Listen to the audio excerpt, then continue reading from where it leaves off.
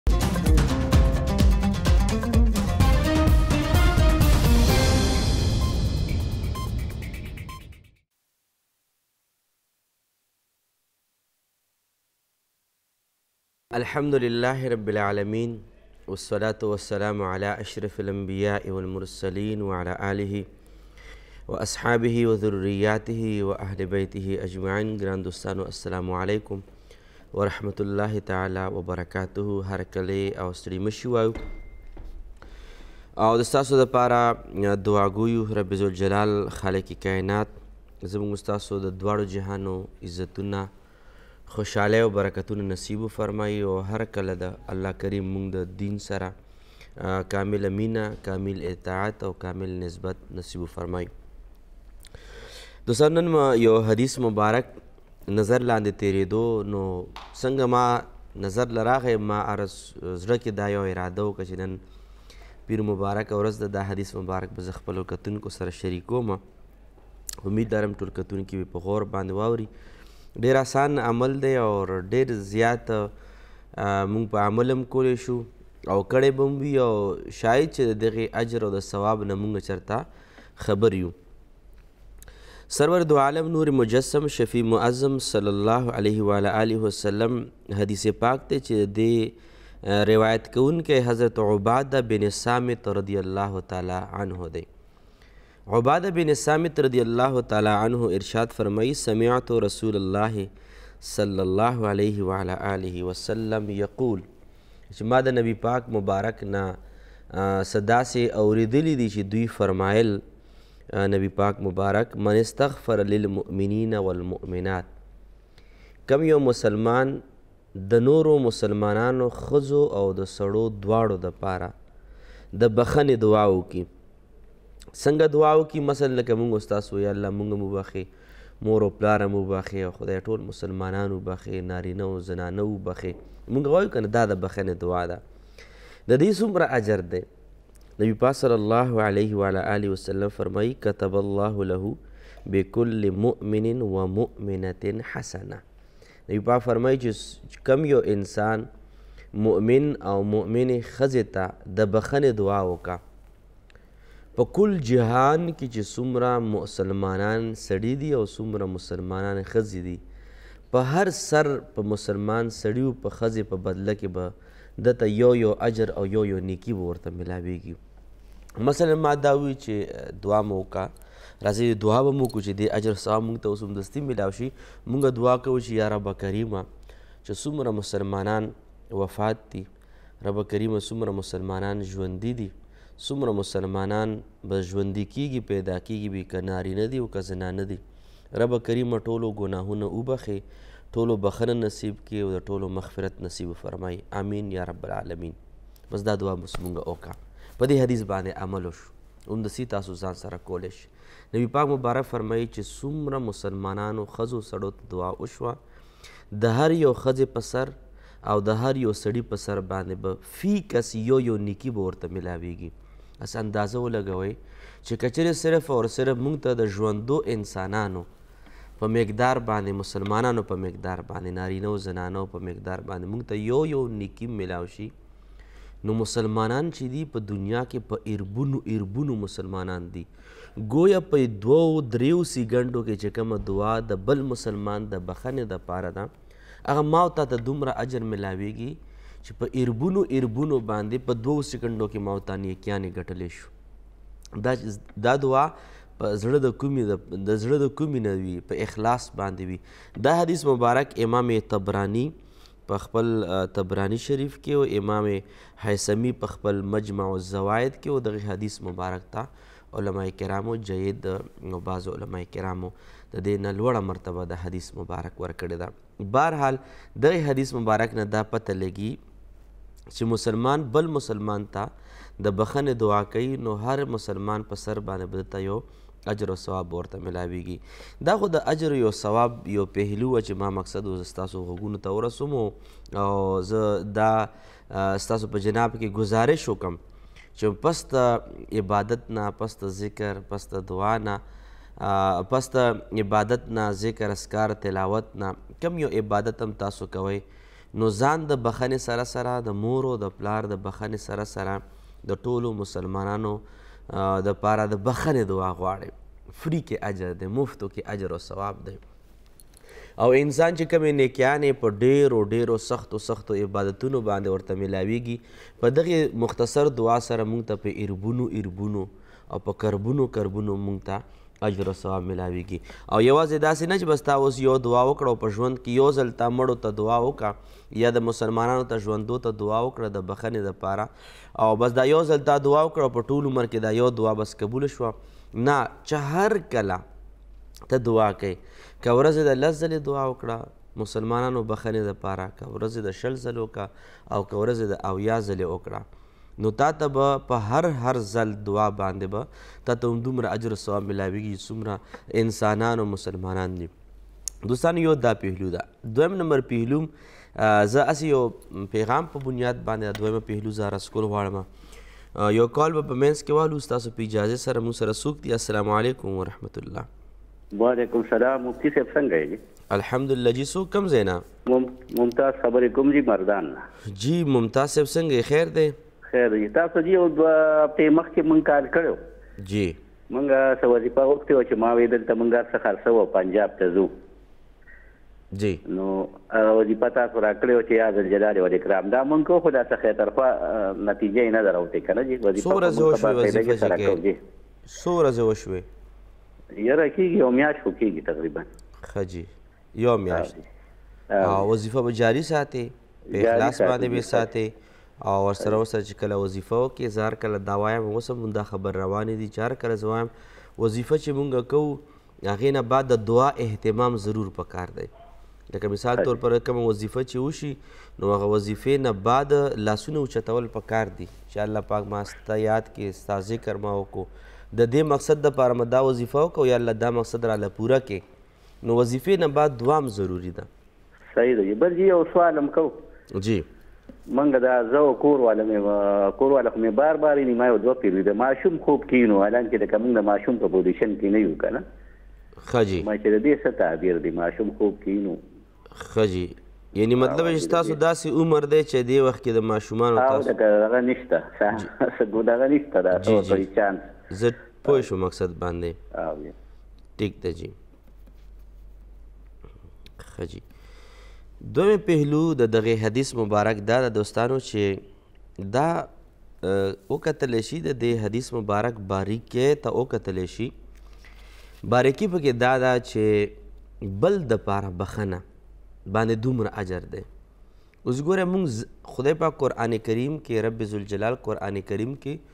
مونږ ته په څومره څومره ځل باندې حکم دا شوی دی چې ته ځان د پاره بخنه وغواړه استغفار وکړه استغفار بخنه وغواړه او بخنه وغواړه د خپل ځان د بخنې صرف دا اجر او ثواب ضرور شته چې د ستا ګناه به معاف شي او اجر او ثواب د الله په یاد پاک په یاد کې به تا ته اجر او ثواب ملاو شي خو دا اجر او ثواب چې د هر یو انسان په سر باندې به تا ته یو یو نیکی ملاویږي دا ځان ته بخنه غوښتنو کې دا اجر نشته دا اجر عظیم اجر دا د بل بل انسان ته په بخنه باندې دا اجر ملاویږي معلومیږي دا چې اسلام مونږ ته په دې خبرو کې دا مزاج ښایي چې د بندگانو د پاره په دغه بندگانو کې د ستا تربور راځي د ستا تر راځي د ستا هغه کسان په دغی مسلمانانو د بخښنه کی راځی چه تا نه څوک په ځمکه ناست دی، تا نه څوک په پیسو باندی ناست دی، تا سره لانجی کونجی کړی دی، ستا د سر د د د خوریدو د پاره د هغه ارادی کړی، په دغی مسلمانانو کی ټول رالل، ګویا دی نه دا معلومیږی چه د انسان په مزاج کی خدای پاک دا څیز اچول غواړی، چې د الله پاک د پاره الله پاک په جناب کې ته د نورو بندګانو د پاره بخنه غواړي هم دغه بندگان چې کمې زیاتې وکي تم ذهن لګ دا جوړ کا چې کچره کمې زیاتې شي تم د بخنه کوشش کوا تم دغه انسان ته بخنه کوا نو کچره مونږه انسانان په خپل منځ کې یو بل ته بخنه شروع کو یو بل ته معافی شروع کو یو بل په کمیانو زیاتیانو باندې مونږ سترګې پټې کو او بیا الله پاک نه ولا د هغه کړي ګناهونه چې هغه ګناه مثلا ما سره کړی دا ما سره زیاتې کړی دی ما په پیسو باندې ناشته ما په ځمکه باندې ناشته هغه باوجود هم چې زیاتې هغه ګناه د ما د وجنه کړی دا خو بیا هم ته ولاغه د پاره بخنه غواړي رب ذوالجلال هم دغه مزاج انسان پسې سینه کې کې خودل غواړي په مزاج کې کې خودل غواړي چې بل مسلمان ته ښېګړه رسولو کې ډیر عظیم خیر دی ځان بخنه خپل ځای باندې ډیره د عظمت والا عبادت دی عظمت والا کار دی خو لیکن بل ته بخنه دعا غوښتل د بل بل د ګناهونو بخشش غوښتل د حقیقت کې دا ډیر زیات اجر او ثواب لري او څه علما کرام داسې لیکي چې څوک په امت محمدی صلی الله علیه و علیه وسلم د پاره تقریبا تعداد څه داسې ستر بار ذکر دی او یا ځلې چې څوک امت محمدي صلی الله علیه و علیه وسلم ته د بخنې دعا کوي چې الله امت محمدي وبخې علما لیکي چې دا به ابدال د اولیاء کرامو په مرتبو کې یو مرتبه ده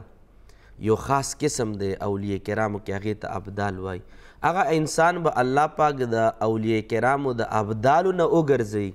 کم انسان چې امت محمدی ته په روزانه باندې او یا ځلې د بخنه دعا کوي هسې څومره او دا ولې مرتبه ته رسیږي دا حدیث بنیاد دی دا حدیث پاک مبارک بنیاد دی چې بل امت محمدي صلی الله علیه و علیه وسلم ته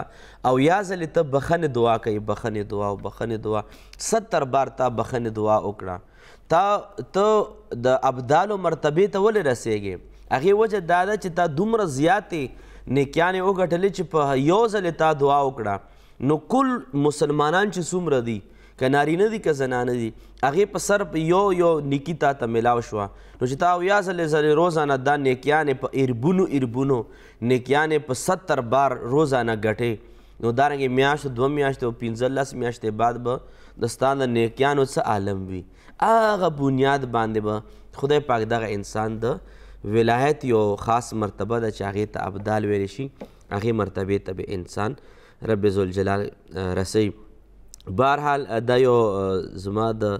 زړه ته راکوزیدونکی حدیث پاک مبارک استاد په جناب کې مو وړاندې کو دې باندې عمل الحمدلله کړی مون دی او کوم په خو توجه ورته نه برابره دوستانو نو په دې نیت باندې چې خامخا په دې کې دومره عظیم اجر دی مسلمانانو ته د بخښنې دعا ضرور کوئ د هغوی د ګناهونو اګر چې هغه ګناهونه د ستا د وجې نه راپېښ وي یعنی تا سره ظلم زیاتی کړی وي بیا هم امت مسلمه ته بخښنه کول پکار دي تقسیم پکې نه کول خدای چې ما سره چا زیاتی کړی هغې نه علاوه وبخښې خدای چې داسې داسې وي هغې نه علاوه وبخښې خدای پاک چې داسې داسې وي هغې نه علاوه وبخښې نه تقسیم پکې ته مه کوه ځکه حدیث پاک تقسیم نه راغلی کل مؤمنانو کل مسلمانانو ته دعا کول پکار دي چې څومره زیات تعداد کې ته انسانان په خپل بخنه دعا کې را دننه کې هم دومره اجر او ثواب چې دا به زیاتېږي الله کریم د موږ ستاسو اسلام چې کوم مزاج موږ ته ښودلی زموږ په اخلاقو په کردار کې را دننه کړی کې امین یا رب العالمین السلام علیکم ورحمت الله. وعلیکم السلام مفتی صاحب څنګه حال دی. اواز د پرویز صاحب ښکاری پرویز صاحب څنګه یې. الله فضل دی ستاسو دعا ده. پرویز صاحب خبرې کې. جی جی. ښه جی ښه. ها زیارت د ورځې تاسو چې پروګرام هغه متعلق د دوه سوال دي هغه نه مخکې دا اوس حدیث شریف چې تاسو بیان کړ اع. د دې راځي چې مونږ فرض کړه پنځه واړه لمونځونو چې کوم د ورځې هغه کې مونږ وایو خدایه مسلمین مسلمات مؤمنین مؤمنات اع. دې وبخښې نو دا جی. هم په دې زمره کې راځي که نه؟ بلکل په همدې زمره کې راځي. ډیک شو ښه اع. ښه هغه د بد شګون متعلق تاسو پروګرام کړی و که نه؟ څه باره کې؟ بد شګون. بد شګونی یعنی بد فعلی. بد فعلی جی. دا زیارت پر ورځ چی دغه پروګرام هم کړی وو. جی جی بلکل او. او هغه کی دا دی چی بعض خلک دا وایی چی که ته یو کور فرض کړه جوړ کړی هغه کی اوسی یا کور په کرایه والی هغه کی اوسی او تا باندی تکلیفات راتله شروع شی نو اوس خبر نه یم چی دا ټیک ده که غلطه ده هغوی وایی چی دا حدیث شریف دی چی کور بدل کړه. که تا باندې دغه نه راځي نو په دې لګه روشنايي واچوي دا یو سوال شو بل دا دی چې خلک وایي چې ما خام کې چې کوم دی 15 وخت یو ځای کیږي جی نو په دې وخت کې چې کوم دی کور کې جاړو وال سپیره ده هغې سره دغه هم لکه تکلیفات راځي تاسو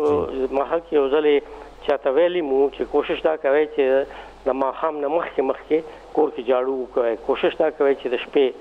مکوي یو خو د جاړو والا خبره شو بل دا وایي چې د ماخام وخت کې داسې د پنځه وخت یو ځای کېږي نو دعا او بد دعا دا دواړه قبلیږي جی. نو د دې باندې لږه روښنايي واچوي چې ښه جی. څنګه ده او بل دغه دی چې دا خدای پر چې زما غیر موجودګۍ کې دا تاسو پر خاص پروګرام کړی دی که نه دی کړی په څه شي باندې جی خاص پروګرامونه چې تاسو کوی د زیارت پر ورځ باندې جی او هغه کې که تاسو اوس پورې نشوي زما غیر موجودګۍ کې تاسو نه نه کړی نو پیره مریده او دم تعویز لاس نیوا بیت کول د دې باندې یو پروګرام کول پکار دي چې خلکو ته پته ولګي چې دا څنګه حساب کتاب دې ځکه چې نن سبا ډېر بناوټي سيزونه دي بنده نه پويږي چې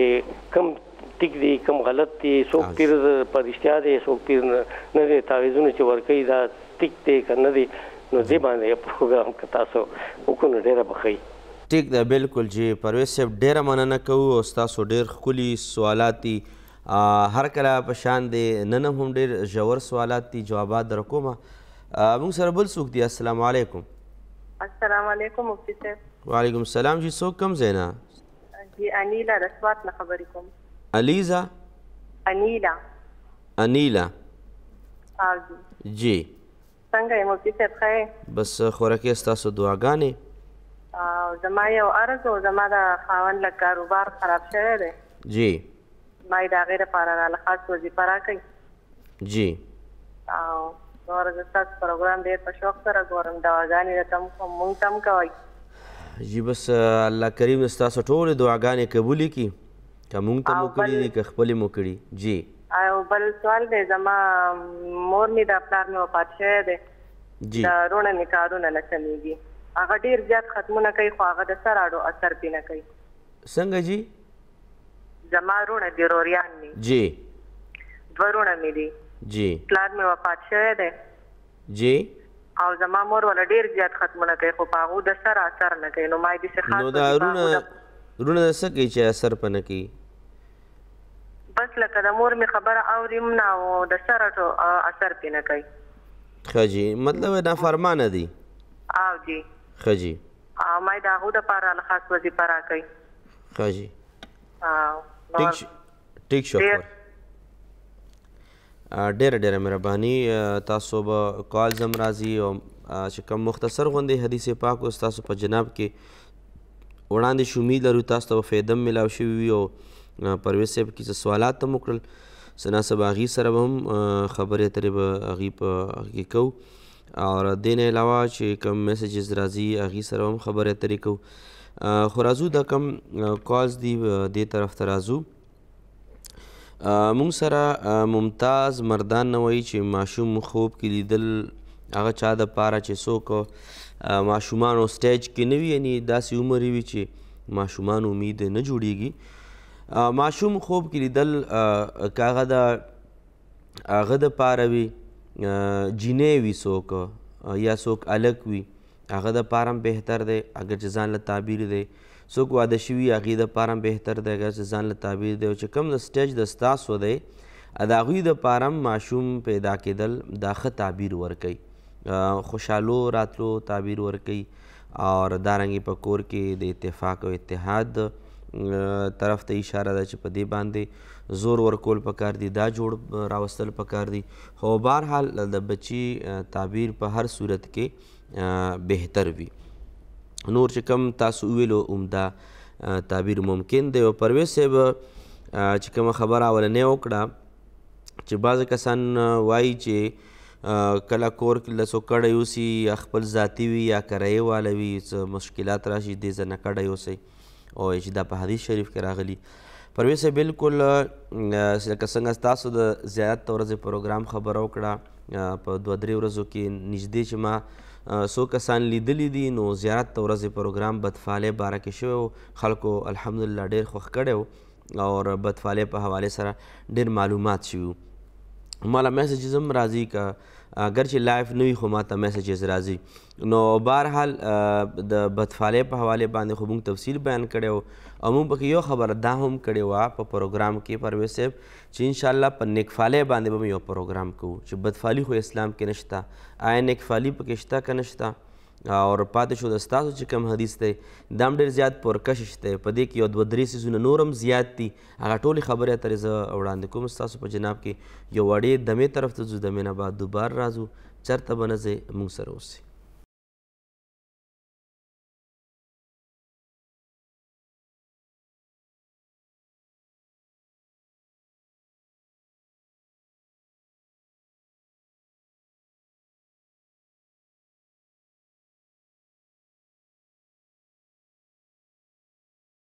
السلام علیکم ورحمت الله تعالی وبرکاتو پرویز صاحب اصل کې دواړو جهانو سردار محبوب کردگار جناب رسول الله صلی الله علیه و علی آله وسلم ارشاد فرمای چې کچره بدفعلی او نحوست او بے برکتی او سپیرتو وی چرتا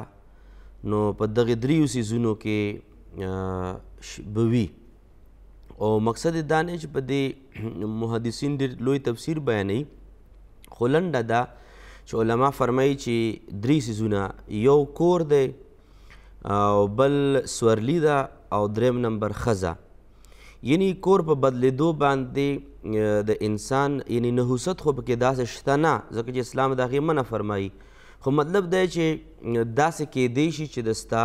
چې کم تقدیر او کم قسمت رب ذوالجلال لیکلی دی نو څه امتحانات وغیره په تا باندې راشي چې کور بدل کې چې یو ځای نه بل ځای ته کډی اوسې مخکې ټیک وي اوس حالات بدل دي نو دې ځای نه بیا کډه وړل پکار دي اسلام اجازت دا ورکړی دی دویم نمبر سورلی ده سورلی ګاډی چا واغستو موټرسایکل چا واغستو سایکل چا واغستو مخکې زمانو کې خو اوخو او مختلف قسمه سیزونو اسونه وغیره او دارنګ اوس زمانه کې چې کوم سورلیانې ګاډي ماډي استعمالیږي نو دا هم دې کې هم داسې د انسان هغه چې کوم حالات وي هغه په بده باندې بدلیدی شي څنګه روایت کې راځي هغه بیا بدلول پکار دي دا رنګ چې کوم خزه دا خزه په حواله سره چون کې خزه ځان سره خپل قسمت راولي نو د قسمت کله نا کله داسې وشي چې کوم خزه راشي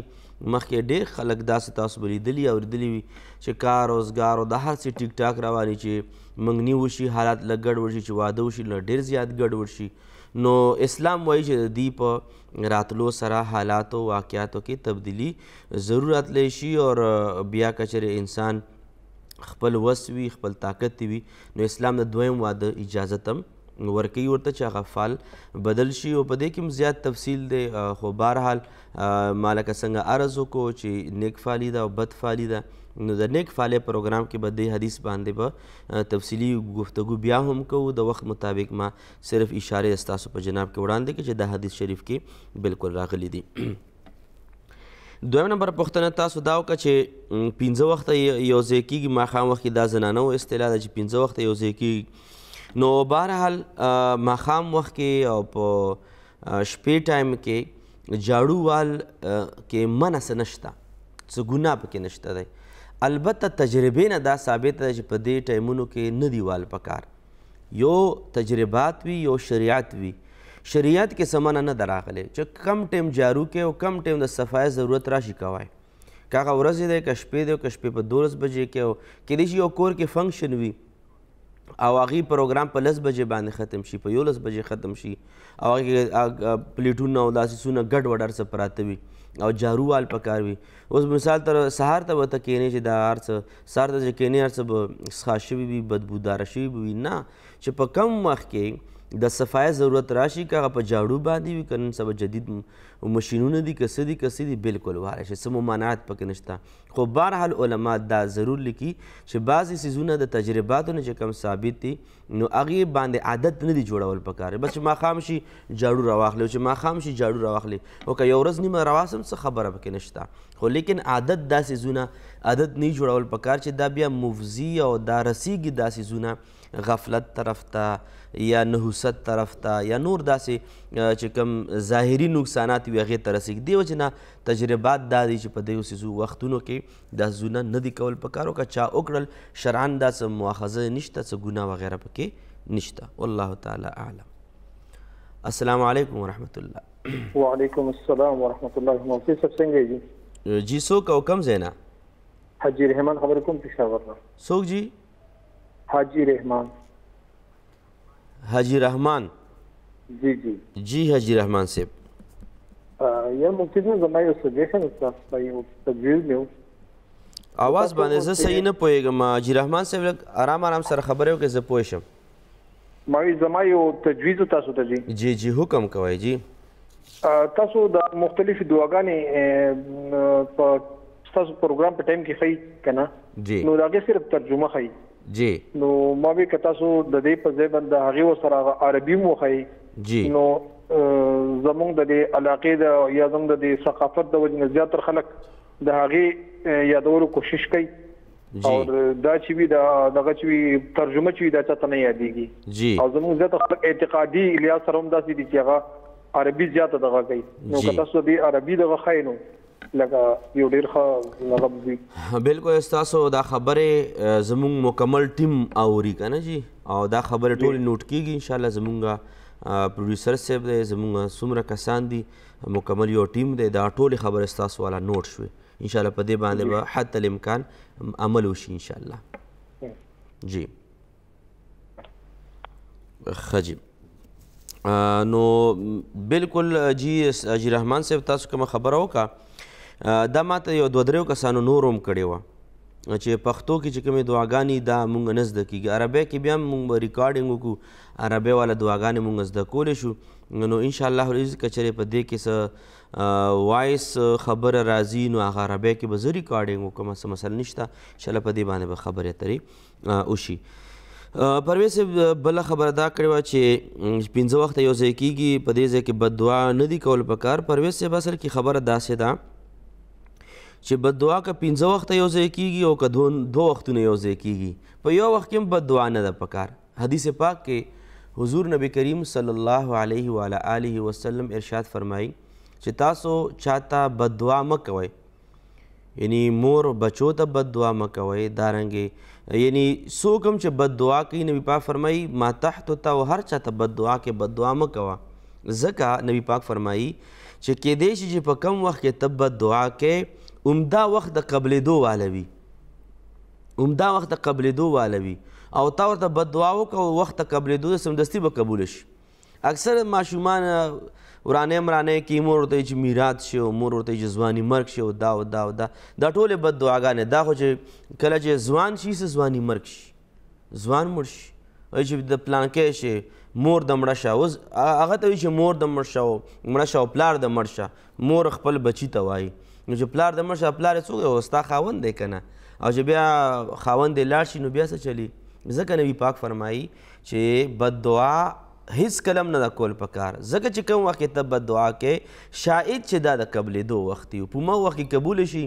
نو بیا انسان بیا سم نشي کولای د دې وجه نه بد دعا نه کل قطعا ځان ساتي مور پلار دارنګې خويندې رونه او وي خدای د تباہ او برباد کا نو چې تبام شو بربادم شو قبلې دو وخت می نو پاتې به کې څه شي د دې وجه نه حدیث پاک باندې پوره عمل کول پکار دی او که هغه ماښام کې بد دعا ده پنځه وخته یو ځای کېږو که په نورو وختونو کې بد دعا ده کله هم نه دي کول پکار السلام علیکم هلو السلام علیکم السلام علیکم وعلیکم السلام مفتی صاحب څنګه حال دی شکر دی څوک او کم ځای نه زه د نوښار نه اختر خبرې کوم افسر اختر اختر ښه جي. ها جي مفتي صاحب زه ستاسو پروګرام ډیر په شوق ګورم الله دې تاسو ته ډیر ژوند درکړي او ډیر عزت څومره چې عزت او دا شهرت درکړی د دې په لس باندې د خدای پاک نورم زیات کړي تاسو امين او ډیر په شوق یې ګورم دا دوه سوال دي تاسو نه دا تاسو کوم یو خدا دې چې دا د قضا منځ مطابق تاسو ته وایم چې دا قضا منځ کیږي جی. چې مونځ قضا شي جی. نو هغه ډیر خلک وای چې نه قضا شو نو بس ختم شو خبره ښه جی. بیا یې مه کوئ لکه او ډیر خلک وای چې کوئ یې ښه جی. لکه می نو ما تا نه په ځوانۍ کې قضا شوي دي په کم عمرۍ کې ناپوهۍ کې نو زه اوس هغه د هر یو مونځ سره قضا فرض کومه. جی. نو دي متعلق راته يو وايي او بل راته دا ووايي چې دا د اوس دا کپړې دي پاکستانۍ کپړې دي جی. خو په هغې باندې داسې ورکوټې ورکوټې پرندې جوړې دي ها جی نو هغې باندې مونځ کېږي او که نه ډېر خلک وایي چې نه په دا په کمیس چې دا پرنده ده نو دی باندې مونځ نه کېږي او جی. ډېر خلک وایي چې پرنده خو پاک صفا سوتره شی دی ها جی بالکل اختر خورې ان شاء الله زه تاسو ته جواب درکوم تاسو مونږ سره اوسئ او ډیره مننه کوو چې څوک هم دعاګانې کوي عقیدت ساتي د حقیقت کې دین سره عقیدت ساتي الله کریم ستاسو ټول دعاګانې قبول او مقبول فرمایي او انیله خور څه داسې وایي چې خاوند کاروبار خراب دی سحر مونځ نه بعد صورت یاسین اهتمام او سحر مونځ نه بعد بلکه د هر لمونځ نه بعد يو څلوېښت ځله به دا آيات کريمه دغه حصه لولئ والله ذو الفضل العظيم والله ذو الفضل العظيم السلام عليكم ورحمة الله وعلیکم السلام ورحمت الله وبرکاته جی سو کا د کم زینا او ټی وی आवाज بند کا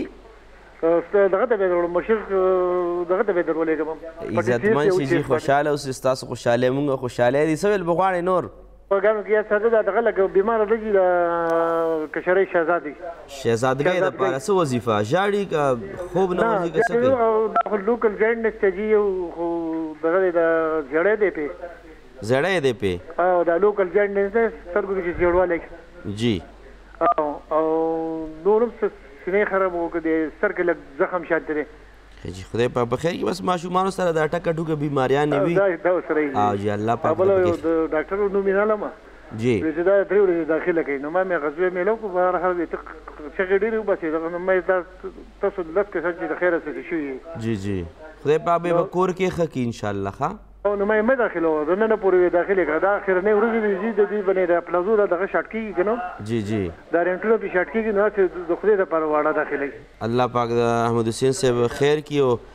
باقی مرزونه د الله پاک ټول وساتي احمد حسین صاحب دعاګانو درخواست دعاګانې براته کوي او انیله خور دا هم ویلي سوات نه چې مور مده او د هغې یعنې ما دوه وروڼه دي مور تابعدار نه نه فرمان دي هغې دپاره وظیفه او مور مو قرآن مجید ختمونه هم کوي دعاګانې وظیفې هم کوي خبره داسې ده چې مورکۍ ته ووایه چې ماخوستن لمونځ نه بعد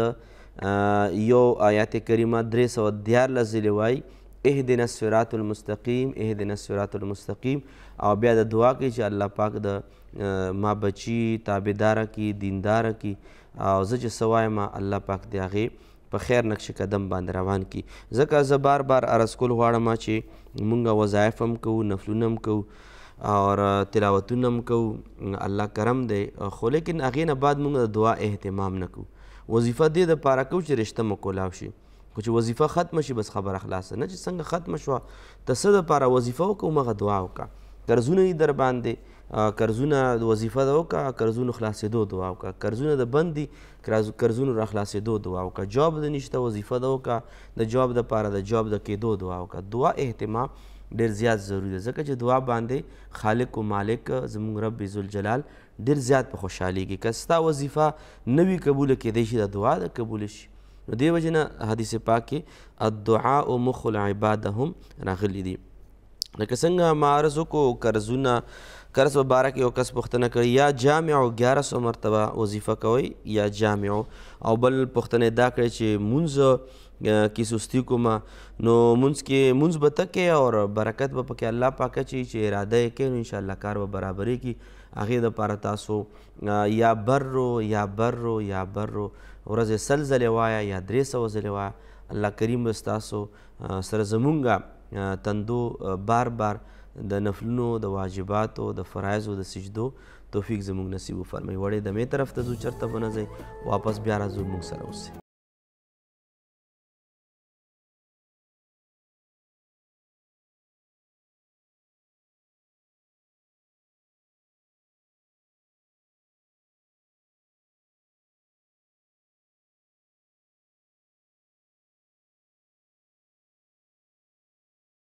السلام علیکم ورحمت الله تعالی وبرکاته اجي رحمان صاحب وایي چې چې کوم دعاګانې دي هغه په عربی کې وکړې شي نو ان شاء الله په دې باندې به مونږه برپور کوشش کوو خو چونکه دا داسې وي چې دې باندې جوړېدو باندې کافي ټایم لګي کافي یو پروسس نه تیریږي دا چې کوم واړه واړه دعاګانې دي یا کوم احادیث مبارکه دي یا کوم آیاتونو ترجمه ده په دې باندې کافي لږ ټایم لګي د هغې یو خپل طریقه کار وي هغې نه پاس کېږي انشاءالله العزیز کوشش به کوو او د اختر خور یو خبره دا وکړه چې بعضې کسان وایي چې قضا منځونه نشته بس چې قضا شو قضا شو او بعضې وایي چې که نه قضا منځونه به کوې ځوانۍ کې چا نه قضا شوي وي ما نه قضا شوي څه ځوانۍ غفلت ته وژنه نو هغې څه کول په کار دي یاد ساتئ لکه څنګه مونځ ادا فرض دی دارنګې د فرض مونځ قضا فرض دی کوم سار مونږ چانه قضا شوی وي او دا غي قضا چا راو ګرځولا یعنی قضا را ګرځي د قضا راوړل فرض دي لازم دي یعنی سنا س یو د د عمل په توګه باندې ته د تیر شوی ګناي یو مداوه کېته یو بلا تشبیه تمثیل سی یو نست پوی د پاره یو کس ته هغه لاس زخمی شو نو هغه پټه چې په لګي هغه له دوايي ولا ورکی هغه علاج معالجه وکي نو ټیک ټاک بشي سنا سه به ټیک شي ټیک ته چې زخم لکیره هم پکې پاتې شي سنا سه دردونه هم پکې تیر شي سنا خو دا دا چې دا غي علاج معالجه د پټه د پاره خو سنا سه هغه لاس ته فایده بلکې سنا سه ډیره ملاو شي دا رنګه کچري مونږ نه منځونه قضا شوی دي او مونږ هغه قضا هم راونه ګرځو نو دی دا مطلب دی چې دا ته کم منځونه قضا کړی دي بس دا تا سره دومره اهمیت نشته چې زه بس مړه ویده بس قضا شو نو څه دنیا ورانه شو نه چې ته کله د قضا کېدو ته اهتمام کې چې مانه قضا شوي دي څو به قضا شوي وي څو منځونه به وي کم کم منځونه دي څنګه یې قضا راوځم دا تا سره د هغې د فوت شوي منځونو قضا شوي منځونو غم دی درسره خدای پاک کریم ذات دی د چا ادا منځونو ته هم د خدای پاک ضرورت نشته د خدای پاک قضا منځونو ته هم ضرورت نشته خو ډیره حد درجه بهتره ده یعنی چې دا کم دا مسله باندې به شاید چې تاسو زړه خلاص شي ذهن به هم خلاص شي نفل چې چا باندې قضا مونځ پاتې دی او یو کس دی هغه باندې قضا مونږ پاتې دی او هغه نفلونه کوي بهتره خبره دا ده چې نفلونه دې نه کوي هغه د خپل قضا مونږ راوګرځوي ځکه چې د چې کومه ذمہ داری په د باندې پاتې ده ذمہ داری پوره کول پکار دي او دا کم چې کم نفلونه دا خو د ذمہ داری نه ده دا خو د الله پاک طرف نه د باندې یو احسان دی که توفیق ولا ورکو دی به ادا کی علما لیکي چې کم کسان یو کس دی هغه باندې لکونه روپې قرض دی قرض دی پې او دی الله په نوم باندې صدقې ورکوي روپېګانې ورکوي زکاتونه خلکو له ورکوي یا سطح علما لیکي چې دا قرض خلاصول دا ډېر بهتري دی صدقې ورکولو نه وجه دا چې دا قرض تا باندې ضرور دی تا باندې تا نه غواړي او صدقه خو ستا د خپل وس کار دی که ورکې که نه ورکې دې د وجې نه دا مونځونه چې کم قضا شوي دا د الله پاک قرض دی نفلونه زمونږ اختیار دی نفلونو په ځای باندې قرض مونږ ادا کول شي دا پکار دی دا قرض پوره کول پکار دي چې کم د رب ذوالجلال نه کم قرض دی نو لہذا قرض د قرض مونږ د قضا مونږ چې کم دی دا بالکل کول پکار دی اهتمام کول پکار دی خدای پاک کې دی چې په ادا منځونو باندې د الله پاک د ناراضي نشي چرته یو قضا مونږ د باندې د الله پاک د ناراضي شي د خدای پاک رضا خو په عبادتونو په سجدو کې پټه ده اوس په کومه سجده باندې خپل خالق او مالک راضي کیږي شاید چې ادا مونز کې راضي نشي شاید چې د جمعات په سجده کې راضي نشي شاید چې خانه کعبه شریفه کې سجده ولګي او راضي نشي شاید چې خانه کعبه شریفه هم وي او د حج ورځې وي او په احرام کې هم هغه قبول نشي او چرته په یو شاړه ځمکه کې ته ولاړې او تا یو دوه رکعاته سره روډ د پاسه موټروی باندې یو دوه رکعاته نفل وکړل کیدای شي هغه موټروی واله سجده قبوله شي خانه کعبه شریفه واله قبوله نه شي د دې وجې نه علما لیکي چې د خدای پاک رضا په عبادتونو کې پټه ده په کم ځای کې رب رب ذوالجلال راضي کیږي هغه پته نه لګي لہذا قضا منځونو اهتمام کول پکار دی چې چا درته ویلي چې قضا منځونه نشته دا بالکل د اسلام او د شرع خلاف خبره درته کړې ده پاتې شو په کپړو باندې مارغان وي وغیره وغیره په دې کې مونږ کیږي کنه کیږي ټیک دی چې مارغان پاک سیز دی پاکوالی او ناپاکۍ سره د مرغه د تصویر سره تعلق نشته چې په تصویر داسې وي چې د مرغه باقاعده سر خپې لکې وغیره شکل او صورت تصویر باقاعده معلومیږي چې دا سر دی دا لکې ده دا خپې دي دا خېټه ده تصویر په کپړو باندې موجود وي د سره مونږ مکروه تحریمي دی ګویا دا مونږ نه کیږي په داسې کپړو کې نه دی کول پکار نو لہذا داسې کپړو نه بالکل اجتناب کو پر اسی اجتناب کول پکار دی دا بس کپڑے پاتې شو صرف چې مارغانو تصویران په کې به خسته ښکاری نه چې کم سیز مونږ ته اسلام وایي هغه تم لګ خیال سوچ او فکر چی دا کول پکار دی نو لہذا په هغو کپړو کې مونږ نه کیږي چې کوم کپړو کې تصویران وي که هغه خو هغه تصویران چې کوم زیروه سیزونه کوم سیزونو کې روح وي هغه د زناورو وي هغه د مارغانو وي هغه د انسانانو تصویران وغیرہ کارټونان جوړ وي په هغه کې مونږ نه کیږي واجب الاعاده ګرځي احمد حسین صاحب نو سه شوی دا شهزادي خدای پاک د صحت ورګي ټولو بچو ماشومان سره یرکان بیماری زیړی بیماری د پاره اللهم انا نستعینک ونستغفرک یعنی دعای قنوت دا د اوه ځلې یا یولس ځلې دی مور وایي په هر حالت کې دا دعای قنوت ویل جایز دی دعا ده او په ماشومه دی چوف کوي ان شاء الله عزیز الله پاک بوله صحت ورکی او پاتې شو بل مرګري دا پښتنه کړې و چې ایزی پیسا کاروبار او پیسې مونږ واخلو کمې راځي او زیاتې راځي یو تفصیلي میسج دی ان شاء الله العزیز په دې باندې بیا چرته تفصیلی پروګرام وکړو چونکه ایزی پیسه یا دا جدید چې کوم معاملات دي په دې کې لږ اشکالات هم زیات دي پوهه هم زیاته ده که زه اوس په لنډو الفاظو چې جایز دی یا لنډ الفاظو چې ناجایز دی نو شاید چې بعض صورتونه ناجایز جایز شي او بعض صورتونه جایز ناجایز شي او بعضې ناجایز جایز شي د دې وجې نه دې کې لږ تفصیل ضرور موجود دی علماو رایې هم پکې مختلف دي نو زه وایم چې په سړه سینه باندې په دې موضوع باندې خبرې اترې وشي نو ډېره زیاته بهتره به وي انشاءالله العزیز او اخر اخر کې به یو میسج نیم هم واخلو وایي سلام مفتي صاحب زه وسیم یم او زما پوښتنه دا چې څوک استخاره وکړي نو خوب لیدل ضروري دي که نه ما وسیم صاحب هزار بار دا پروګرامونو کې ویلي دي چې استخارې دپاره نه اوده کېدل ضروري دي او که اوده شې نه خوب لیدل ضروري نه دي. اوس مازیګر دی چا کار دی مازیګر لمونځ پسې مازیګر لمونځ نه مخکې دوه رکعته نفل وکړل اوده هم نه شو او خوب یې هم ونه لیدو او دا کار یې وکړو استخاره یې وشوه چې کوم سنت دي هغه ادا شول نو لهذا د استخارې دپاره نه اوده کېدل ضروري دي او نه په اوده کېدو کې خوب لیدل ضروري دي. دا زمونږ یو جو ها البته که چېرې چا سره چا خوب ولیدو علما لیکي که چا ولیدو نو تعبیر به راوباسي او که چا ونه لیدو دې دا مقصد نه چېرې چې ما خوب ونه لیدو د دې به څه دا کار وکم که ونه کم که چا خوب لیدلی دی که نه لیدلی او دوه رکاته نفل تا وکړل یو ورځ یا پنځه ورځې یا اووه ورځې تا وکړه په دې کار باندې ورشه که وشم خیر به یي پکې که ونه شم خیر به یي پکې لهذا نه اوده کېدل استخارې لپاره ضروري دي او نه په اوده کېدو کې خوب لیدل ضروري دي اور دا هم وایي چې السلام علیکم مفتی صاحب زه وسیم وایف یم ما له داسې وظیفه راکړئ چې پریګننټ یم چې ما له الله پاک زوی راکړي او زما درې لورانې دي خورکه الله کریم د صالح اولاد نصیب کړي او په خېټه باندې تاسو کې اظهار او کو خېټه باندې تاسو لاس کې دی او دا وای چې یا رب کریمه ای زما رب ای زما الله کې چې زما په خېټه کې نارینه اولاد وي زب د استاد حبیب نوم محمد نوم په اقدم د نبی پاک سره د محبت توجینا او د غنوم د برکت توجینا حدیث پاک راځي چې دغه خېټه کې ماشوم چې دا به الله پاک نارینه پیدا کړي زما نوم د کېښودو